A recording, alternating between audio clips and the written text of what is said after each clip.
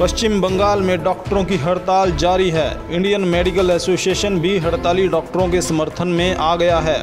देश के 19 राज्यों के डॉक्टरों ने एक साथ मिलकर 17 जून को पूरे भारत में स्ट्राइक की घोषणा की है। तो वहीं इस उग्र मामले को लेकर अर्थ प्रकाश के संवाददाता ने चंडीगढ़ इंडियन मेडिकल एसोसिएशन के सेक्रेटरी डॉक्टर हरदीप सिंह जी से खास बातचीत की। चलिए आपको दिखाते हैं। सतारह तारीख को संपूर्ण भारत में आईएमए ने जो समर्थन दिया हड़ताल को क्या कारण है ये हड़ताल करने का सर? देखिए अगर आप इस मुद्दे को शुरू से देखें तो कारण बहुत ही सिंपल और सीधा है। हमारी मांग सिर्फ़ एक है कि हमें जीने का अधिकार दिया जाए। जो कि ह्यूमन राइट्स चार्टर का सबसे पहला वो है कि हर बंदे को अपना एक डिग्निफाइड मैनर में जीने का अधिकार होना चाहिए। आप शायद जानते ही होंगे कुछ दिन पहले बंगाल के एक मेडिकल कॉलेज में ये घटना घटी कि एक बुज़ुर्ग व्यक्ति को अस्पताल में लाया गया, जो कि पचासी साल का था और बहुत ही गंभीर स्थिति में था। उस बुज़ुर्ग की डॉक्टरों ने जी जान कोशिश करने के बावजूद जान नहीं बचा सकी। इस कारण से उनके ऊपर जानलेवा घातक हमला किया गया। हमारी मांग सिर्फ़ ये है कि इस तरह के घातक हमले ना हो। इसको प्रिवेंट करने के लिए, इसको रोकने के लिए सरकार कोई एक बहुत स्ट्रिक्ट लॉ बनाए, जिससे ये एक डेटरेंट हो कि कोई भी आके डॉक्टर्स को अपने काम करने वक्त कोई धमका ना सके, उनके ऊपर अटैक ना कर सके। अगर आप किसी भी डॉक्टर को देखें, वो आठ आठ घंटे, बारह बारह घंटे काम करता है सेल्फलेसली काम करता है, अपनी परिवार छोड़ के, अपनी पर्सनल सारी जरूरतों को छोड़ के, त्याग के सिर्फ़ ताकि उसका पेशेंट बच जाए। पर अगर आप उसी डॉक्टर के ऊपर एक घातक हमला करेंगे तो वो अपना काम नहीं कर पाए तो किस प्रकार किस प्रकार की सुरक्षा चाहते हैं सरकार से कि वो डॉक्टर के लिए वो सुरक्षा प्रदान की जाए? देखिए इस तरह की सिचुएशन का इस तरह की स्थिति का जो समाधान है वो किसी एक चीज़ से नहीं है। सुरक्षा उसमें से एक हिस्सा है पर इसके साथ साथ एक बहुत ही स्ट्रॉन्ग लॉ सेंट्रल लेवल पे होना बहुत ज़रूरी है। जो कि ऐसी घटनाएँ फ्यूचर में हो उसका एक डेटरेंट बने। अगर कोई ऐसा करने की कोशिश करता है तो लॉ ऐसा हो कि उसको सख्त से सख्त सजा मिले। हम तो कह रहे हैं कि उम्र कैद की सजा मिले ताकि कोई और वो घटना को या वो चीज़ को रिपीट करने की दोबारा हिम्मत ना करे। ठीक। लेकिन सर अगर एक तरफ़ से इंसानियत की बात की जाए तो आए दिन पेशेंट आते रहते हैं। तो उस दौरान सतारह तारीख को कुछ ऐसा कोई खास वो आ गया मरीज़ तो उसके कैसे ट्रीटमेंट किया जाएगा?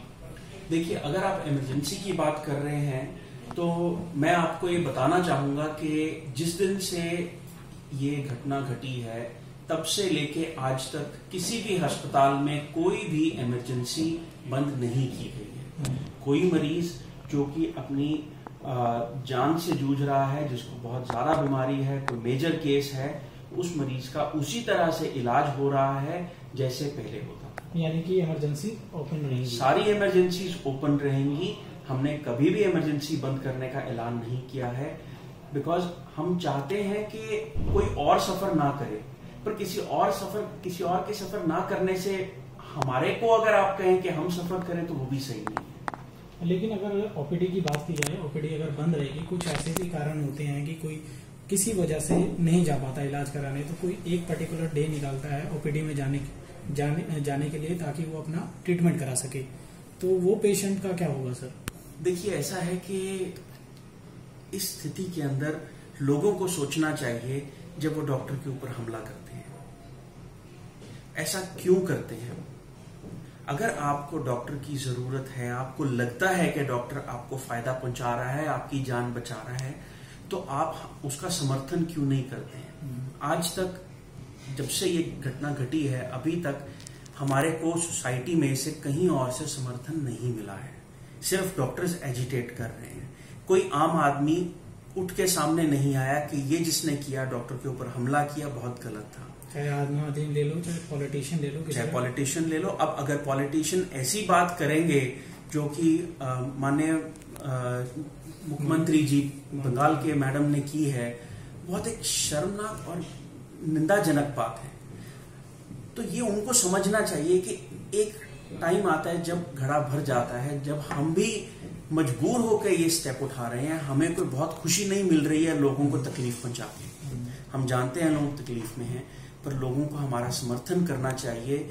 जिन लोगों ने ये किया है उनको लॉ एक प्रॉपर वे में आ, उनको दंड दे उनको प्रोसिक्यूट करे और इस तरह का उसके ऊपर प्रोसिक्यूशन होना चाहिए कि कोई और दोबारा ये काम करने की हिम्मत ना अगर हड़ताल के बाद सरकार आपकी में जो जरूरतें हैं वो पूरी नहीं करती तो आप लोगों का क्या एक्शन होगा?